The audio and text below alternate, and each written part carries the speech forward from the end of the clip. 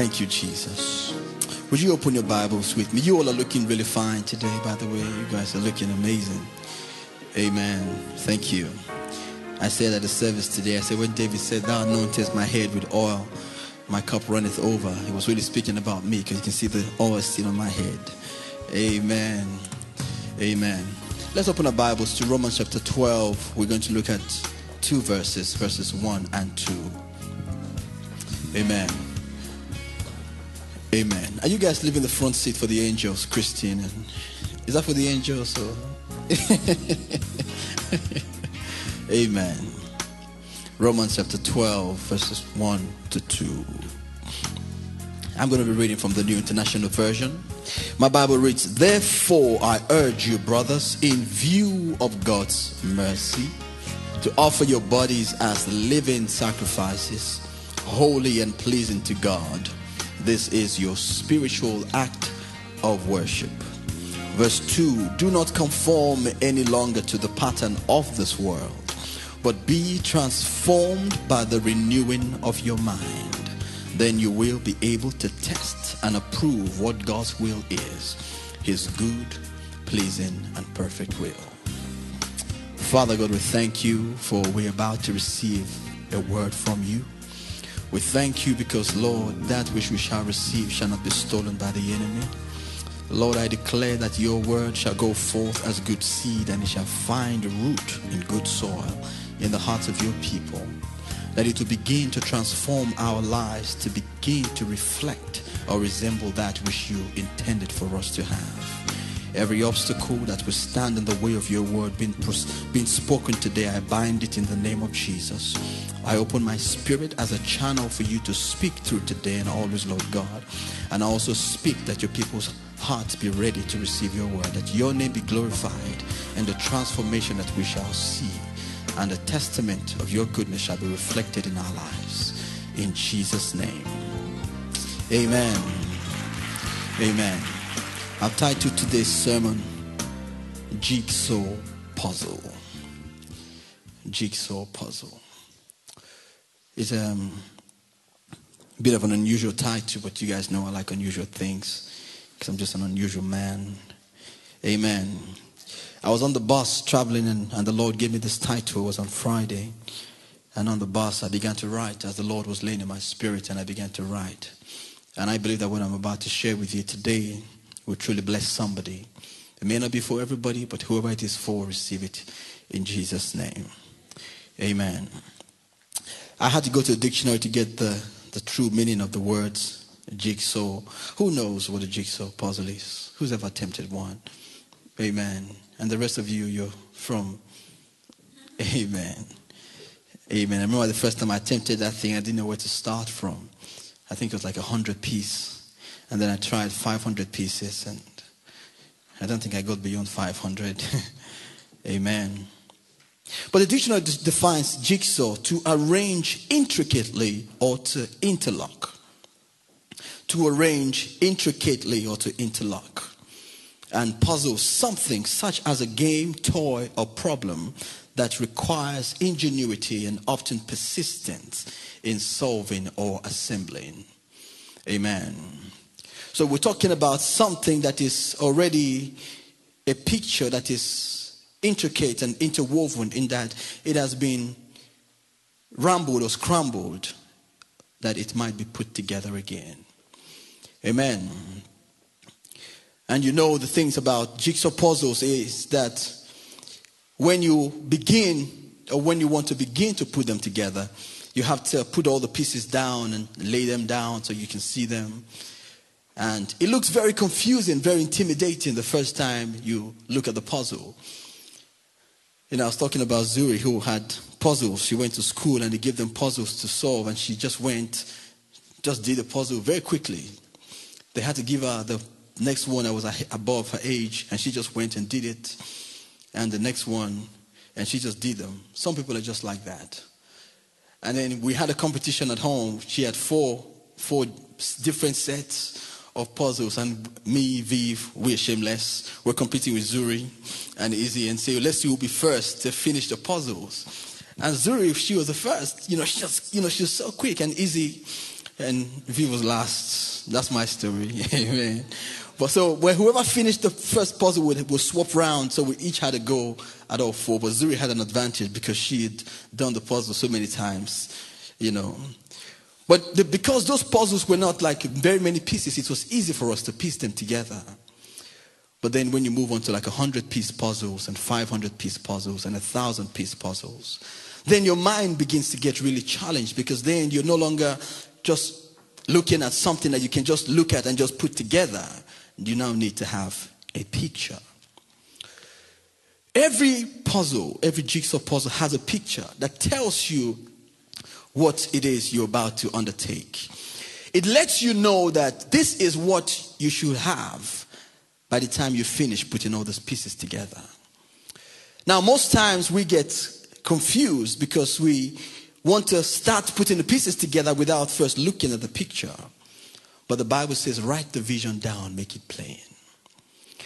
So if you are to begin a puzzle, you must first look at the picture. What is the picture that God showed you about the thing that it is that you are putting together?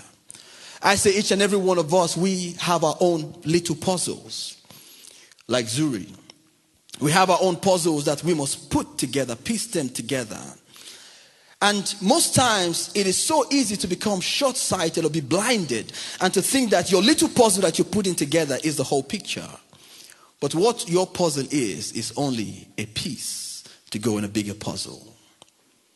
Amen. So we sit there and we're trying to put our puzzles together, trying to piece them together. And we get confused sometimes and we wonder whether we're doing the right thing. But if your piece is the head, then you know that by the time you finish your piece, what you should have is the head. And that is only a piece to go into the rest of the puzzle. Am I making sense? And as we put this puzzle together, we sometimes get confused. Who's ever tried to put a, a piece of puzzle in the wrong in the wrong place? Who's ever tried that? You are struggling. It looks like this is where it belongs. The shape is the same. And you're battling to put this thing in that space that you think it belongs to. And most times, as we're forcing that thing, if you keep on forcing that piece into the wrong space, what's going to happen to that piece? It's going to get damaged. And every other piece that's around it is going to get damaged as well. So, any sensible person, if you're trying to put this piece somewhere and it does not sit in where you're putting it, you should say, This piece does not belong here. The thing about puzzles is that if you have the wrong pieces mixed in with the bunch, the right bunch that you have, then you have confusion. Now, what many of us do not realize or do not understand is that God has a big picture. So, God took the picture first and then broke it into little pieces that we are now to put together. But there's somebody who also has his own picture. So, God's picture is the original picture. God's puzzle is the original puzzle. And God has cut it very intricately, and, and then all the pieces are scattered. But the devil knows what the picture of God is. Who knows that when God made the earth, it was beautiful? The Garden of Eden was beautiful. Everything was ready made for man. And all man had to do was to till it and just tend for it. So the devil comes, makes his own puzzle, but obviously he has God's picture because if you are to make a fake, you must have an original to work with. Amen. The dictionary defines original as ingenuity, having no other preceding it. Something that does not did not exist before, it is the first of its kind. But a fake is a replica, a copy of an original. So you have fake money or counterfeit money. But they don't make counterfeit money. If you go and make counterfeit money without an original in your hand, then something, then you really have a fake brain. So for you to copy an original, you must have the original at hand very closely and they will study. There are some people who are just good at faking things. I was watching this program one time. I think it's called Faking It. And this guy was, they, they taught him how to be a coach, a football coach. Now they have specific language that they use. They have specific hand gestures that they use. They have specific words that they will scream out to a player who's on the field. So they brought a group of people to try to pick the fake coach amongst these other ones. But they had grilled this man to know how coaches think, to know how they react and how they act on the pitch or around the pitch. And the people who were to spot the fake were watching to see what this, who the fake one was amongst all of them that were out there. And this guy did so well, but there was something that didn't quite gel. His body language was not quite right. Coaches are like, what are you doing, Beckham? Get from oh, they are giving hand gestures and signs and don't oh, and the people understand them. But this guy, because he was not a natural football coach, didn't quite. He was a bit posh. He was a bit, you know, he didn't know what to do. Sometimes he just stood there and, and they would ask them questions. And the way he was answering, they said, This guy is trying too hard to impress us, to let us know that he's the coach. So, what I'm saying is, the devil has a replica of the picture that God has put together. The devil has his own jigsaw puzzle. It looks just like God's one. It looks just like the original. He's cut his pieces almost as closely to God's one as possible. And what he's done, he's mixed some of his pieces along with the master's one. Somebody says, I am a piece in the master's masterpiece. I am a piece in the master's masterpiece. Now, the truth is, as you recognize that you are a piece in the master's, there's only one master, his name is Jesus. If you are a piece in the master's masterpiece, there will be people around you who are original pieces, but there will also be some around you who will be fake. Now, the truth is because the devil has really copied the master's picture to the T that sometimes it is hard to identify what the fake one is. But say, I'm the real deal. Say, I am the real deal. Because you know who you are, you will not be confused about what table you belong to. Now, the two masters are there trying to piece their things together. God's one is on the side. We are trying to piece our little pieces together so we can have a complete piece that God can take and put in the big picture. The devil is on the side, and sometimes, as children of God, because we belong to the original piece, we get mixed up and we end up in the wrong piece. But you know that if you take two pictures with two different cameras and process them from two different printers, same picture, but the coloring will be different. The texture will be different. So somebody might cut the pictures together and put them all together, but if you begin to put them together, you will know that this one does not belong to this frame. This picture does not belong in this frame. So, as an original piece in the master's piece, as you begin to find that around you there are certain colors that do not quite blend with yours. There are certain characteristics that do not quite fit with yours. Somebody has slotted you in this piece, and you know that you do not quite fit in there because you're not really sitting as perfectly as you ought to sit. A child of God will say, You know what? I don't belong here. The Bible says, Amongst my people are found wicked men. So the devil puts his people in the midst of God's people. And sometimes, because as people of God, we we grew up with the devil's own pieces. We begin to adapt to the devil's lifestyle as though it is the way we were supposed to have been raised. But the Bible says, St. Paul writing to the Roman Christian says, Be not conformed to this world. Because the picture that has been painted in this world is a picture that is contradictory to the picture of Almighty God. It looks nice, but it's not the master's piece and we get confused. But you know that when the master is looking for the pieces that belong in his piece, he will find you if you call out to him. If that piece sits there and keeps quiet and say, Well, after all, I know this is not where I belong, but I'm just going to stay here anyway. Well, the master just might let you be. But Jesus says, Father, of all that you gave me, I lost none except Judas, the son of perdition. you will not be lost in the mighty name of Jesus. Say to your neighbor, don't try to fit me anywhere. I belong to a different game.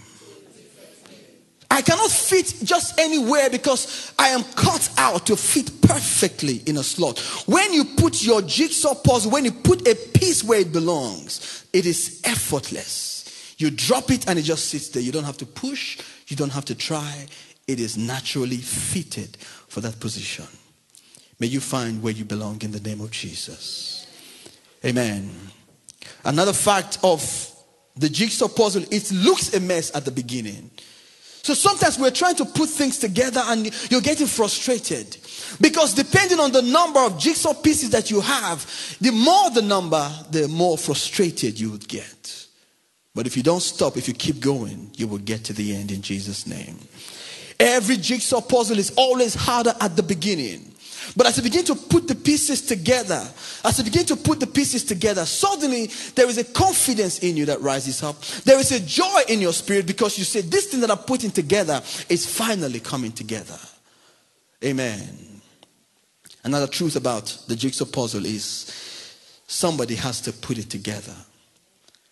Sometimes it is so easy for us to think that whatever we're doing is all that is, all there is in the picture. But all you are is just a jigsaw puzzle piece in a very big picture. And if we understand and adapt that mentality, if we have kingdom mentality, we can help one another. I went to preach at a church today. I didn't say to them, Oh, I'm going to charge you 500 pounds to come. Sorry, 50,000 pounds to come. So I'll be charging the world in the name of Jesus. Amen. I'm just prophesying my own, I'm telling you. So I didn't say, Oh, this is what you have to. I've gone to preach for people and given my offering there and left, they didn't give me a pound. I didn't go, oh my God, I drove my petrol, bought my ticket. Why would I do that? Because I know that I am just a piece in a big jigsaw puzzle. That's why no matter where I go, I can give my offering if I believe that the place is of God. And I say the same to you support ministries, support churches, support men of God, support missions. Because if you do that bit and you help somebody to complete his piece, the bigger, the, the sooner we can all complete our little pieces, the sooner the master can have a perfect picture. Tom, stand to your neighbor say, help the master, help somebody else. Amen. And each piece, another truth about the jigsaw puzzle, each piece is vital in any puzzle. If any piece is missing out of that puzzle, it can cause frustration. So every piece is vital. Turn to your neighbor say, I am a vital piece in this masterpiece. You are vital, and if you can understand and receive that you are vital, that you have a part to play, no matter where you find yourself, if you are in the body of Christ, don't say, Well, I don't have any skills, I can't preach, I can't sing. You can dance, you can arrange chairs, there are things that we can do in the body of Christ. The Bible says, even the gift of giving, it says, giving is a gift. Did you know that? God blesses some people, all they want to do is give. They give up their time, give up themselves. Without question, it's not a burden, it's not a task. With joy, because God has given them a gift to give. May that be your portion in the name of Jesus. Another truth about jigsaw puzzle is it is beautiful when it is finished. When it is completed, there's a joy that rests in your spirit. You just feel so good about what you've done. You look back at your work and say, Yes, it was worth my time. They say, Act well your part, for there the honor lies. Let's look at 2 Timothy chapter 4, verses 7 to 8. St. Paul was a man who understood that he was just a piece in the master's masterpiece. Therefore, everything that he did, he did it that when his piece is complete, the master would pick his piece up and says, Well done, thou good and faithful servant. He says, I have fought the good fight, I have finished the race, I have kept the faith. Now there is in store for me the crown of righteousness, which the Lord, the righteous judge, will award to me on that day. And not only to me, but also to all who have longed for his appearing. Amen. where do you belong? The devil has a mixed up the, master, the mixed up the thing so that what goes on in this side, you want to have sex with any woman, it is okay. You want to drink and get drunk, it is okay. You want to lie on your neighbor, that's fine. You want to steal, that's fine. So the piece that you are, a perfect piece from the puzzle of God because you have mixed up with the wrong puzzle set. We now begin to pick up habits from that side that do not conform to the lifestyles that we're supposed to live. St. Paul says, Be not conformed. Do not conform any longer because it meant that we were already living our lives the way the world had dictated for us to live. And that's not the way God meant for us to live. So it takes an expert to spot a fake. If they ask me to come and look at a Picasso work and, and, and, and a fake one and tell me which tell them which one is real, I would not know the difference. If you ask me to taste sweet wine, you know, good wine or cheap wine, I would not know the difference. So there's no point telling me to taste the wine and tell you which one is high quality because sometimes the one I, I might think that, you know, you know what I mean? I might think that Shloer is the, is the best one, is the most because it's sweet wine. I don't know the difference, but there are people that will just take that thing and smell it and go say, oh, this one is this. This is cheap wine. So I say, ah, this one is 1927 from Italy. Yeah. This one is 19, this is November 1914. but there's some people who are just trained to do those things. I'm not trained to do those things. But if you are to be an expert in that which God has called you into, you've got to know what the original is like. And the Bible tells us the Bible is the word that contains the original picture, the original pattern. That's why we must go back to the word. Amen. St. Paul says, 2 Timothy 2.15, it says, Study to shew thyself approved unto God, a workman that needeth not to be ashamed, rightly dividing the word of truth. You need to study the word of God because if we study the word of God, then we know where we belong. I'm not confused about where I belong. Amen. We are in the body of Christ. And because we're in the body of Christ, we cannot conform any longer to the ways of the world. The devil is a liar. He can't trick us in the name of Jesus. Look at Acts 17 11. St. Paul was writing about the Berean Christians. And St. Paul said that these ones they were very noble because these people they they went home to check what they had received based on the word of God, on the word of God, so they could come back and receive even more. It says, These were more noble than those in Thessalonica, in that they received the word with all readiness of mind and searched the scriptures daily. How often did they search the scriptures? Daily. Daily they searched the scriptures whether those things were so. So if I tell you something, you need to go home and check it with the word. If it doesn't align with the word of God, then you do not take it. Because pastor said doesn't make it right. The word of God is yea and it is amen. It is the final authority by which all Christians must go. Viv and I were watching a program on TV, and this guy came out. He says, I am, I am a priest and I am gay. And he was so confident and so at ease and so at peace. And he says, Well, I, you know, I pastor a church, and you know, um, and I'm thinking, do they live in a different world? Because the Bible is clear. I don't condemn them. We can't condemn them, but we condemn the act. If God says it is bad, then we must say that it is bad. But because many of these, these people, these pieces, have mixed up with the wrong bunch, they have claimed or received what was being taught them, which are lies, from the side of the enemy, that it is so. Whether it is homosexuality or fornication, it is sin. So you can't say, well, I'm not gay, but, but you know, I just like women, so I just go after women. That the Bible says that's a sin. Or stubbornness or disobedience, or lie telling, or drunkenness, or cheating. Anything that you do that is not in line with the will of God is sin. Sometimes we, I know sometimes we just we focus on homosexuality, but it's not the only sin. The Bible says that the sin of wickedness is as the sin of witchcraft you will not be deceived in the name of Jesus. You will not be deceived in the name of Jesus. And then we end up forming habits, Who knows how easy it is to form a habit? Who knows? Who has habits that they formed and you just you're struggling with it now? Little things. Sometimes it might be the way you talk, the way you, the way you walk, the things you say. If you do something daily, consistently, becomes your habit.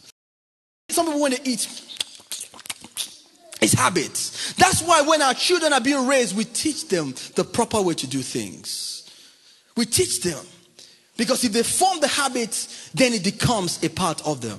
But St. Paul says, do not conform, but be transformed. To be transformed is to go beyond the form that exists. It says, and be transformed in the renewing. To renew means go back to the new. Go back to the way it was in the beginning. To renew something is not to make something from the, from the start, it's to take it back to its origin. So re is a prefix.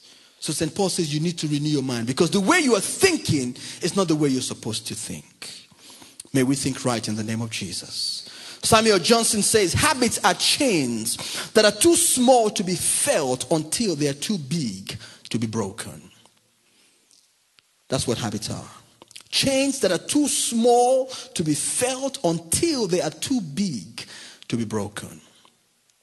We form the habits so just looking at women, just think, ooh, ooh. Then that just becomes your habit.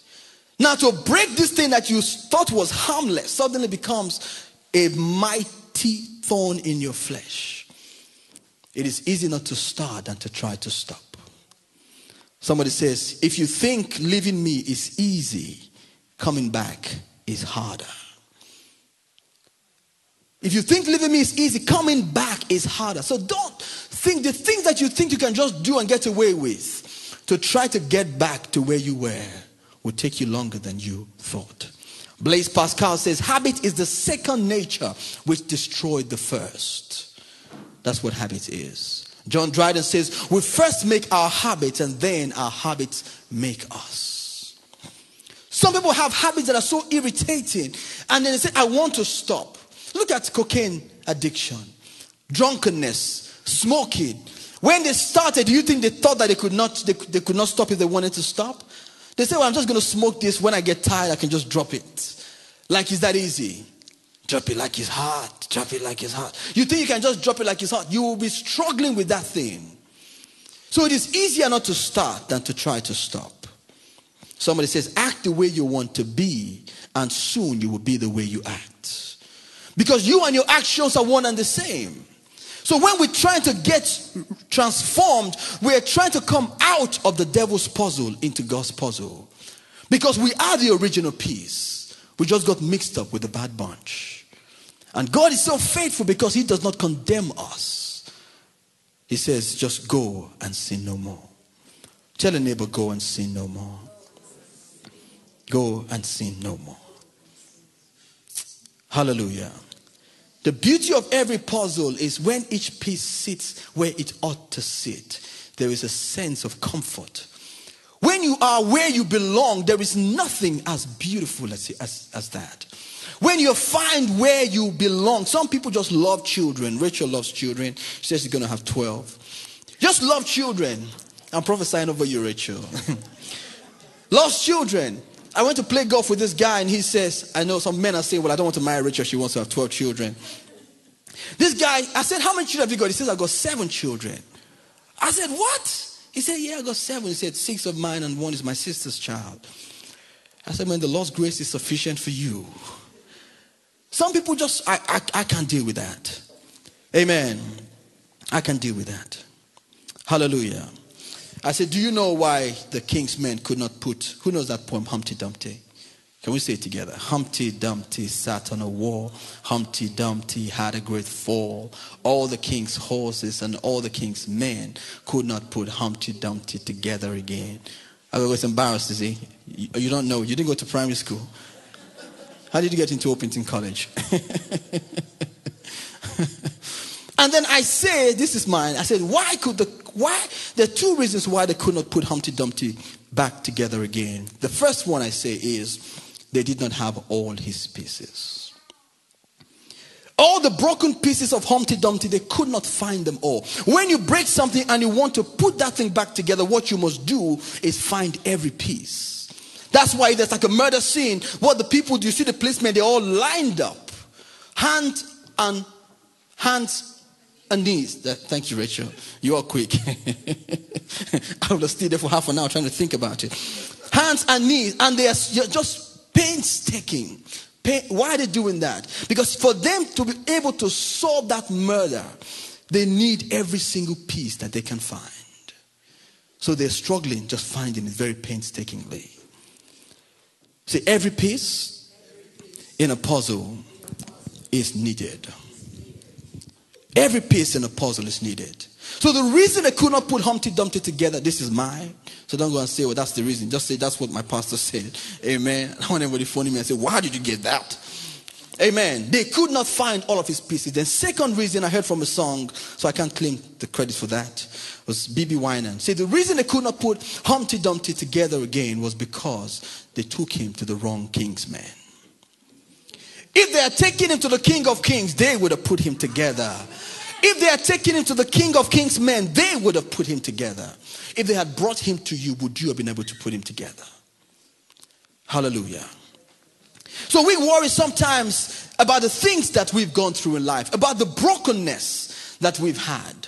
But everything that is broken in your life, they're all pieces that you must put together for God wants to paint a beautiful picture with all the brokenness in your life in the name of Jesus. Your hurt, your anger, your disappointment, your best friend betrayed you, somebody stabbed you, your friend walked out on you, all of those things that went on in your life, all those brokenness. Somebody said, I can mend this broken heart if I can find every piece. I can mend this broken heart. Find the pieces. Tell a neighbor, find the pieces. Find the pieces, find the pieces. Every piece is crucial, every piece is vital, every piece is necessary. And you are a vital piece in this masterpiece. John Wesley says, In the greatest temptation, a single look to Christ and the bare pronouncing of his name suffices to overcome the wicked one.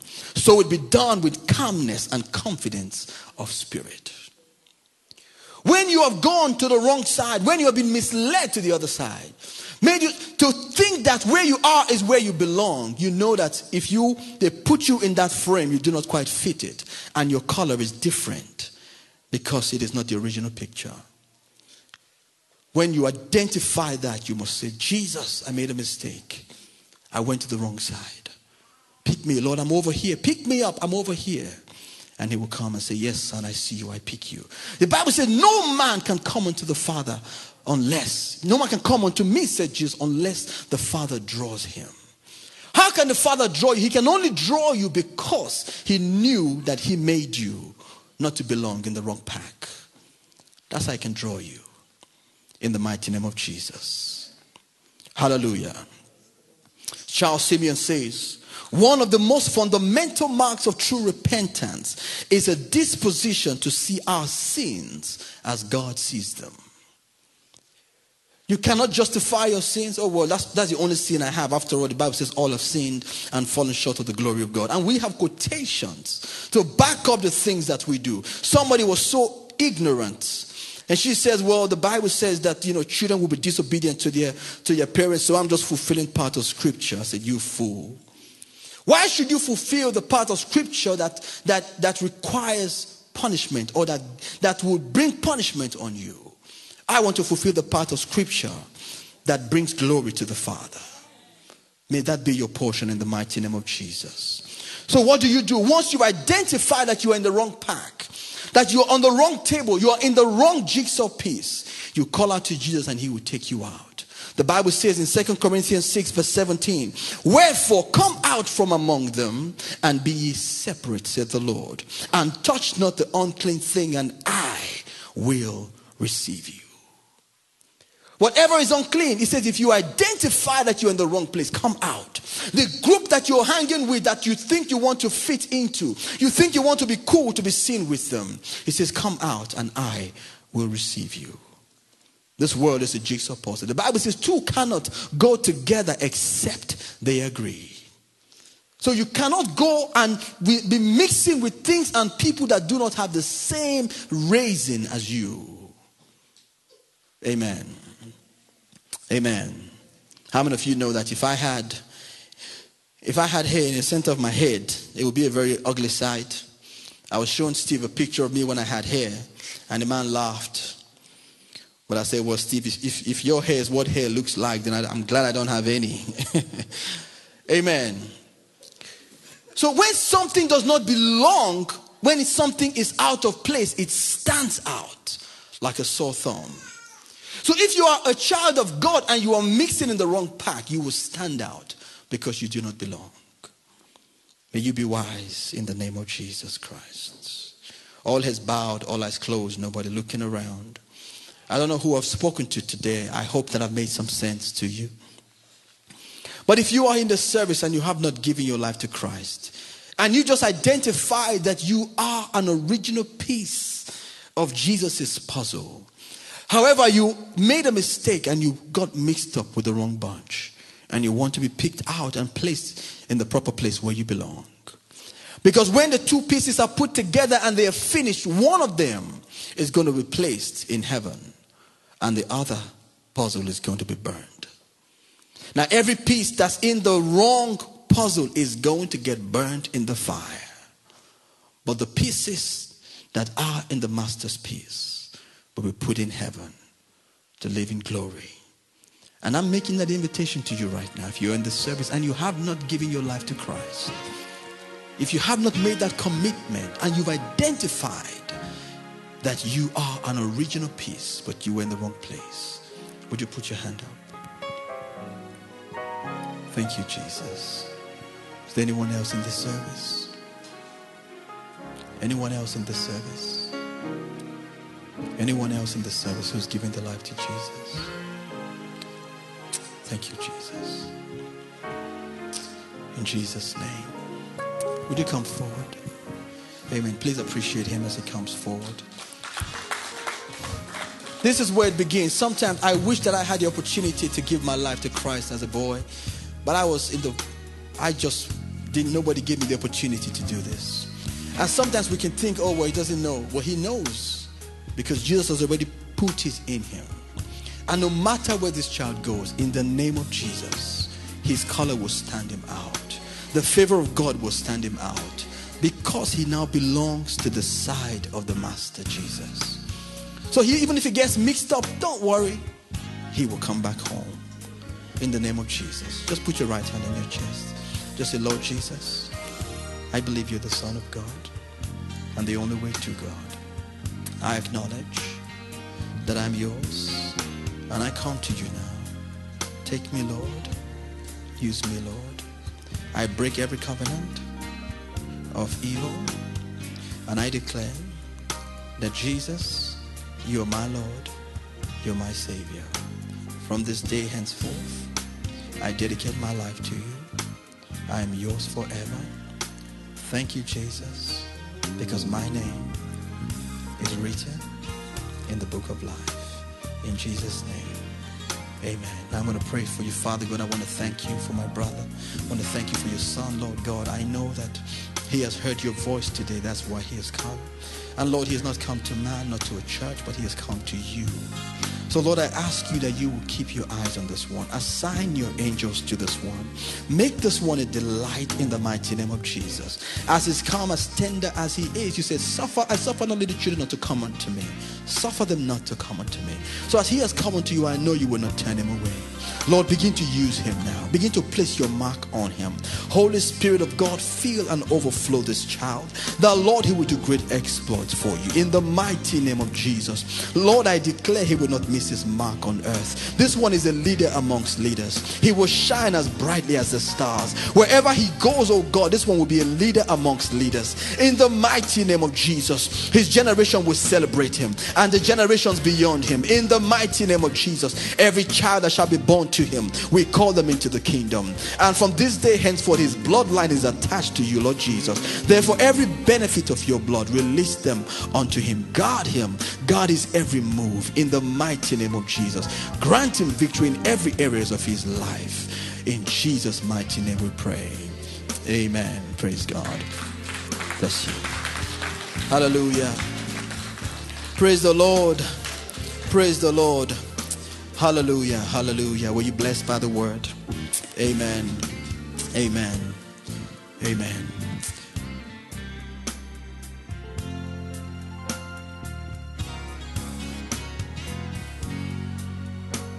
To those of you listening to this message, I hope that it has been a blessing to you.